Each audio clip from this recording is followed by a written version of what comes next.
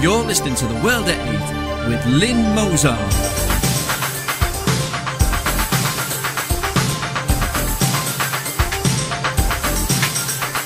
The World at 8, the number one in nationalist news. Highlights of the news today, Friday the 12th of July 2013. 53% of Muslim men don't work, infidels support them. Over half a million more EU immigrants arrived in the UK under Labour than originally reported. Five schoolboys 13 and under have arrested, been arrested for the rape of a 12 year old girl. 80,000 Bulgarians plan to move to Britain. Nick Griffin MEP from the belly of the beast. Russian Supreme Court upholds ban on Muslim headwear in schools. Saudi princess accused of keeping a slave in California. Thought for the day, am I the only one simmering? And finally, a slippery situation.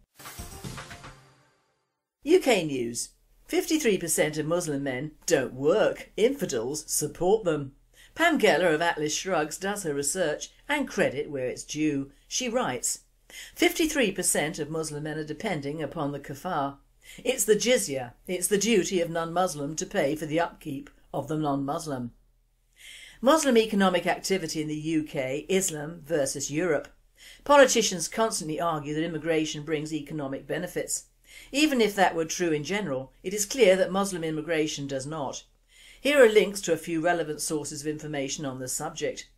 Migration Watch reports that for example, compared with the UK average of 22% of the working age population being economically inactive, Somali, Bangladeshi, Pakistani and Iranian immigrants are likely to be 81%, 56%, 55% and 48% economically inactive respectively. The Daily Mail has a similar report. These figures come from the Institute for Public Policy report, Britain's Immigrants and Economic Profile, which can be downloaded for free. According to the document briefing on British Muslims, socio-economic data and attitudes, more than half of all Muslims are economically inactive, 52%. The Equalities Commission How Fair is Britain, published in early 2011, contains some interesting observations about Muslim unemployment levels in the UK. In the UK only 47% of Muslim men and 24% of Muslim women are employed. The WikiLeaks cables also contain some interesting revelations about the level of disability amongst Muslims in Britain. Muslims were also found to have the highest disability rates, with 24% of men and 21% of women claiming a disability. While the cable also cited statistics claiming Muslims were also the most likely group to be unavailable for work or not actively seeking employment due to illness, their studies or family commitments. The original source for this information seemed seem to have been this page on the Office of National Statistics website. It notes that Muslim males and females in Great Britain had the highest rates of reported ill health in 2001. Unsurprisingly, the Muslim-friendly Guardian, although at the forefront of the WikiLeaks revelations, did not see fit to print this one, although the Daily Mail did. You can find the article on Pam's Atlas Shrugs blog. Over half a million more EU immigrants arrived in the UK under Labour than originally reported. Half a million more immigrants arrived in Britain from the European Union than was previously believed, campaigners have warned. It means immigration between mid-1997 and mid-2010, while Labour was in power, now totals nearly 4 million rather than the 3.4 million recorded. The number of people who went under the radar would have filled a city the size of Manchester. The Office for National Statistics discovered the mistake in May when they compared the results of the 2000 census with the population they had expected to find on the basis of births, deaths and official immigration figures, Migration Watch UK said. World Date comments, they probably have filled a city the size of Manchester, Manchester itself. Five schoolboys 13 and under arrested for rape of 12 year old girl. Five schoolboys aged 12 and 13 have been arrested over the alleged rape of a 12 year old girl. The boys have all been bailed over the alleged assault which is said to have taken place on the Field Lane estate in Rastrick, West Yorkshire last Friday. Police have increased patrols on the estate and have contacted local schools to make them aware of the allegation. World Date says This is what happens with the leftist sex education and promotion of promiscuity in the UK. European news. 80,000 Bulgarians plan to move to Britain. As many as 80,000 Bulgarians could move to Britain when new EU rules come into force in less than six months. It emerged today. A new survey has revealed that nearly 20% of 15 to 55 year olds, around 400,000, want to escape their struggling country with the UK at the top of their list. World at eight states. The media steer clear of the millions of Asians and Africans already here, but of course they are non-white and more acceptable to the establishment. This lot of Eastern Europeans will just be the icing on the already rotting cake. The World 8 and Radio Britain apologise for the lack of Euro input from our Nick Griffin MEP today, but Nick is attending the funeral of Lee Rigby. Thank you very much. World News Russian Supreme Court upholds ban on Muslim headwear in schools. A branch of Russia's Supreme Court has rejected an appeal by a group of Muslims for the right of schoolgirls to wear the traditional religious attire, specifically the hijab, in classrooms. The appeal was made by a group of citizens of Muslim faith from southern Russia's Stavropol region. They complained that a decree by the local administration ordering all school children to appear in classes only in regular secular clothes, which came into force in January this year, infringes their freedom of faith as guaranteed by the constitution. Saudi princess accused of keeping a slave in California. Saudi princess Meshael Alayban, 42, to be freed on $5 million bail must wear a GPS tracking device. She was charged on Wednesday in California with human trafficking for allegedly holding a domestic worker against her will. If convicted she faces up to 12 years in prison. Her alleged victim, a 30 year old Kenyan woman, escaped and then flagged down a bus to seek help. World Today comments, she won't be convicted because she's just following her religion. Thought for the day, am I the only one simmering? Am I the only one simmering? Not with the heat, which although very welcome is becoming too much for me and I find myself cowering when able under the huge umbrella in the garden instead of doing Tai Chi in the sun. But no, it isn't the wonderful heat wave that's getting me all steamed up, it is once again the sodding media in this country. I watched on ITV the sad parade of our military boys through Lee Rigby's hometown when they carried his body to the church in Middleton, Greater Manchester yesterday and at least the Sun did print the fact that two men had been arrested for his murder, whereas the newscaster last night just said, and I quote a shortened form, Lee Rigby, a man who expected to die in foreign lands for his country but was killed in Woolwich whilst returning to his barracks. No mention of the two Muslim bastards that hacked off his head after running him over with their car. Oh no, they're both safely tucked away in government speak for the sheeples. In fact, one newspaper article appeared to be an advert for a fun day and a bicycle race to remember someone else. Surely it isn't just me or my party who must wonder why for God's sake it is that when any crime includes or is participated in or perpetrated by people of the Islamic faith do the media appear to have a complete ban on actually telling the truth?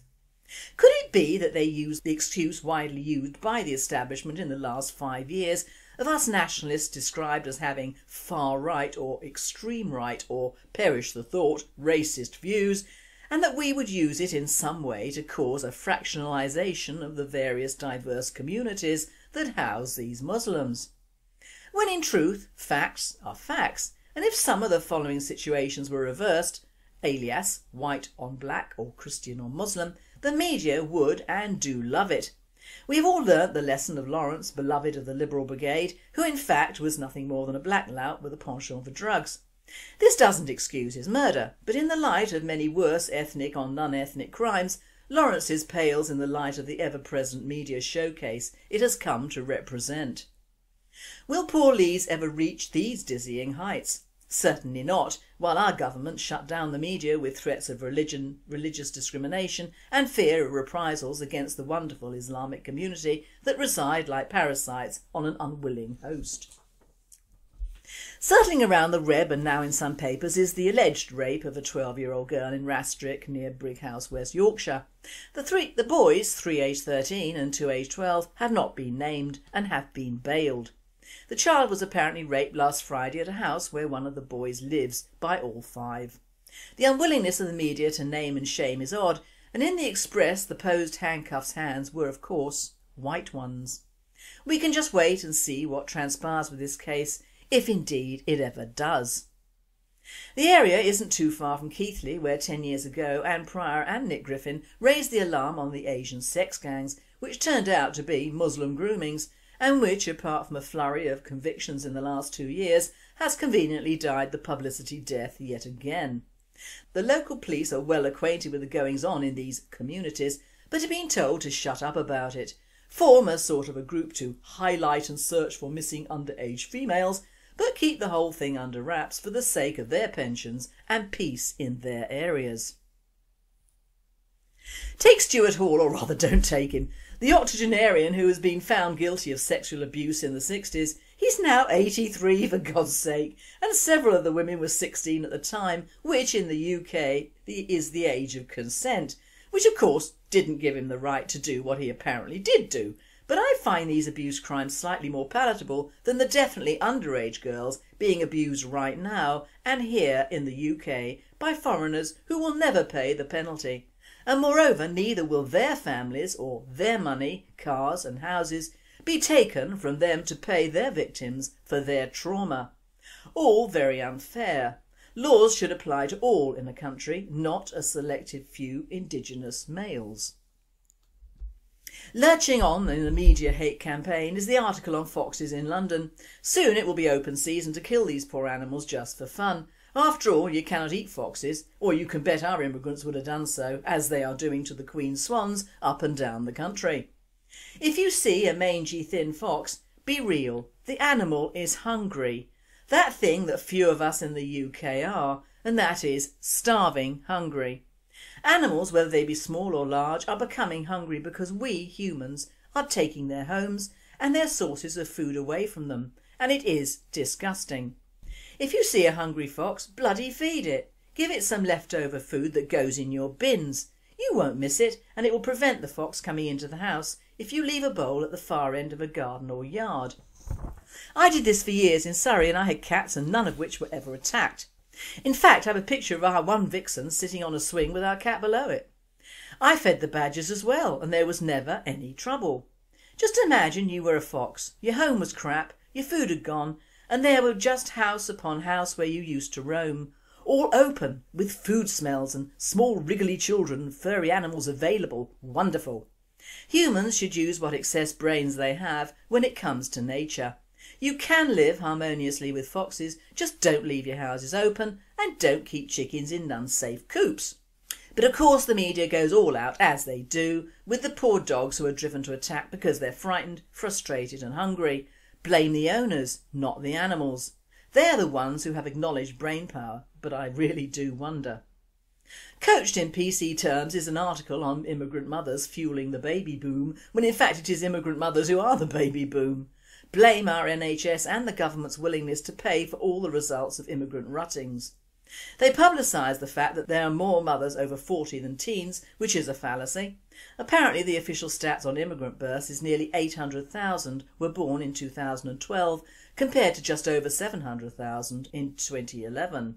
Oh great, and the government want to cap immigration sometime in the future? Read between the lines. And the mantra is no. We need immigrants to work for us and pay taxes and look after our growing elderly population. Bollocks! None of that applies even in the ether of time. It simply won't run any more and the public must be sick and tired of hearing the PC speak around a situation which is getting much worse, not much better. They're feeling this in Fulmer Bucks which is a charming little village but appears to have been taken over by, yup, a ranting Muslim cleric. The very toned down report was in the Mail Saturday and the cleric is Sheikh Yasser Al Habib who fronted a fund-raising campaign that raised £2 million to buy a spacious hall on the outskirts of that village, which has now been renamed the Al Muhsin Mosque and every Saturday it plays host to hundreds of Habib's followers.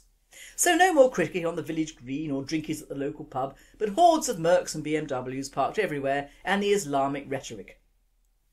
Habib is a Shia Muslim and of course brings his hatred of the Sunnis into Buckinghamshire's best kept village. A Muslim Labour MP, a Khalid Mahmood said, If it was EDL or BNP using this sort of rhetoric, the authorities would quite rightly be on them like a ton of bricks. But because he is a Muslim, they don't. And probably Mahmoud, he is a Shia and I would like to bet you are a Sunni. And as the rightly coming down on nationalist parties for stating the obvious in their own country, you can pack your bags and sod off now with Habib. The fact is that what Habib is doing is being done all over the UK. Most if not all the home counties, small and up to now highly desirable places to live are being taken over by Muslims with huge backing from Islamic groups outside the UK. They are taking over prime territory, arable land and unenriched areas very quickly. And with pals on local councils there is nothing the common people can do except witter away amongst themselves online. The media do a half job. They tell us the problem is not the solution because they're not allowed to. And every media journalist, if he wants a job of any status at all, has to sign a pledge to say they will not issue any statement to the public which enhances or portrays nationalist or racist or religious views. So that, in a sentence, obliterates any sort of fair portrayal our own indigenous people might have in the media. All sewn up and silent. It's very simmering, isn't it? A thought for this weekend is, nobody made a greater mistake than he who did nothing because he could only do a little. Edmund Burke.